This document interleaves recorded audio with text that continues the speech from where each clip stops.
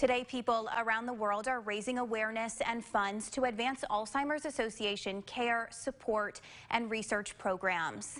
It's a day of action called the longest day, held on the day with the most light to fight the darkness of Alzheimer's. WATE 6 on your side reporter Jordan Brown introducing us to a Tennessean dedicated to making a change. With more than 5 million people in the U.S. currently living with Alzheimer's, many advocates are spending the longest day of the year raising awareness and funds for Alzheimer's research.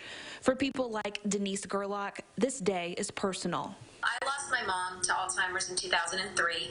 Um, she suffered with it for 10 years. My dad was her caregiver, and it's it's heartbreaking. It is absolutely heartbreaking to watch somebody that you love just fade away and not know who you are anymore.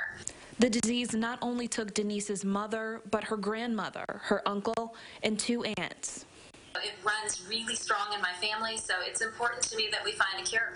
In honor of her mother and other relatives that lost their battle to Alzheimer's, Denise will be using the 16-hour day to bake some of her mother's favorite sweet treats, sharing the recipes online, all to raise awareness for the millions of people living with Alzheimer's and the caregivers who support them. With a tight lid, you can keep them in the refrigerator. It says up to two weeks. They don't last in my house that long. My mom um, had a big sweet tooth, so we're using a lot of her recipes. Denise says being able to share these recipes helps connect her with other people across the country that have been through the same thing. And the most amazing thing, I've had so many wonderful people reach out to me. I have this special feeling that when, when I put the word out and other people who've gone through it have, have you know, given me support and encouragement, I'm trying to pay that back to others as well. In Knoxville, Jordan Brown, WATE 6 on your side.